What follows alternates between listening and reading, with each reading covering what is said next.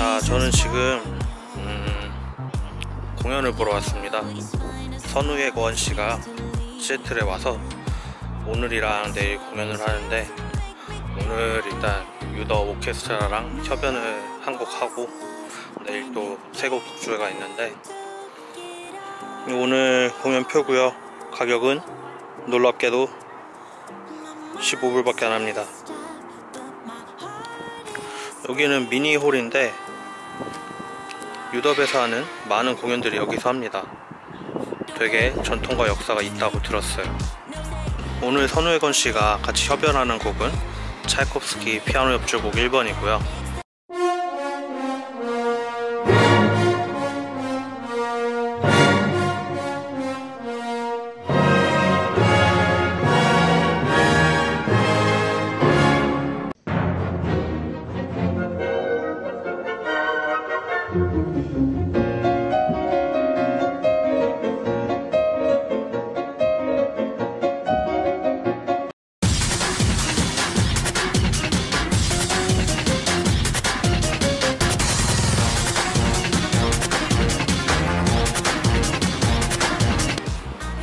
다음 곡은 베토벤 교향곡 6번 그리고 드비시의 묵신의 오후의 전주곡 교향시입니다.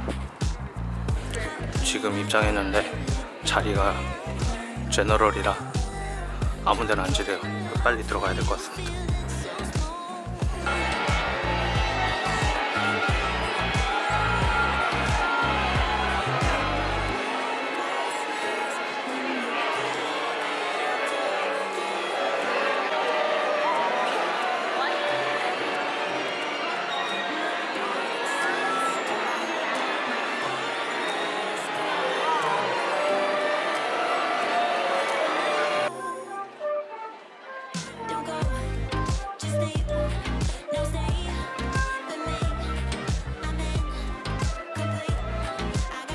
Stay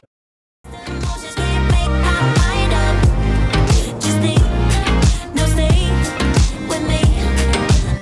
지금 선우회건 씨두 번째 공연 보러 가고 있습니다. 어제는 유럽 오케스트라랑 같이 한 협연이었고 오늘은 피아노 독주 하는데 슈만이랑 리스트랑 뭐였지? 뭐 잘 모르겠는데 일단 가보겠습니다. 참고로 오늘 티켓은 뭐 이렇게 할인 받고 해서 48불에 샀습니다. Two hours later. 어제랑 오늘 이 선회권 공연을 보고 왔습니다. 공연은 너무 좋았고 미국에서 한국 연주자의 공연을 보는 것 자체가 되게 기분이 남달랐던 것 같아요. 미국에서 클래식 공연 볼 때 또 일반적인 클래식 공연 볼 때 팁을 몇 개 드리고자 합니다. 먼저 첫 번째는 will call인데요. 이거는 티켓을 전화나 인터넷으로 예매를 하고 나서 현장에서 수령을 할 때 will call이라고 사인이 써진 곳에 가서 티켓을 수령하는 거를 말해요. 이거는 클래식 공연뿐만 아니라 다른 공연에서도 will call이라고 표현하니까 알아두시면 좋을 것 같습니다. 두 번째, 옷은 어떻게 입고 가나? 그냥 편하게 입고 가면 돼요. 소리 나는 옷만 좀 피해 주시면 됩니다. 바람막이라든지 막 이런 패딩, 이런 이런 부시럭부시럭 소리 나는 옷만 피해 주시면 편하게 입고 가면 돼요. 뭐 정장 입고 굳이 그럴 필요 없습니다. 오늘 공연에서 되게 나이 많으신 분들 되게 많이 왔는데 뭐 정장 입고 온 사람 한 명도 없어요. 그냥 다 편하게 셔츠 입고 청바지 입고 왔습니다. 세 번째 인터미션.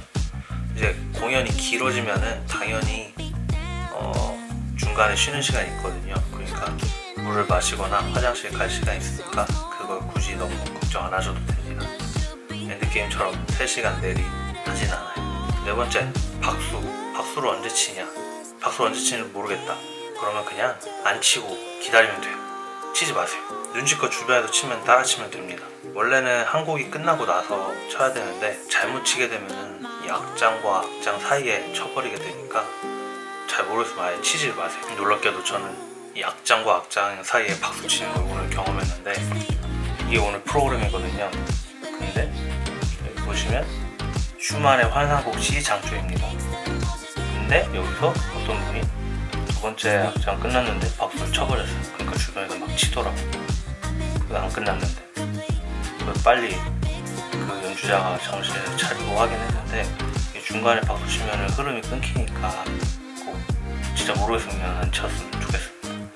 미국이라고 다들 막 다들 뭐 알고 막 이러진 않아요. 한국이나 미국이나 모르는 사람들은 언제나 있으니까 다섯 번째 기침을 자제해 주세요.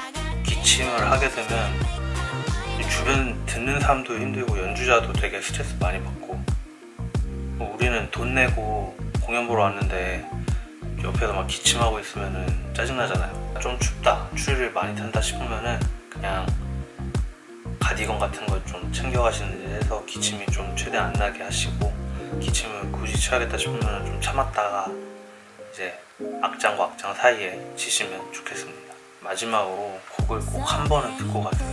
곡을 한 번 듣고 가는 거랑 모르고 가는 거랑 차이가 큽니다. 클래식 뭐뿐만 아니라 그냥 일반 가수 콘서트 갈 때도 노래는 다 한 번씩 듣고 가잖아요. 똑같이 이것도 알고 가는 거랑 모르고 가는 거랑 차이가 크니까 어쩔 수 없이 뭐 콘서트에 클래식 콘서트에 가게 됐다 싶으면은 꼭 한 번은 그냥 들어보시고 가보시면 좋겠습니다. 다음에도 좋은 클래식 공연 있으면 갔다 오겠습니다.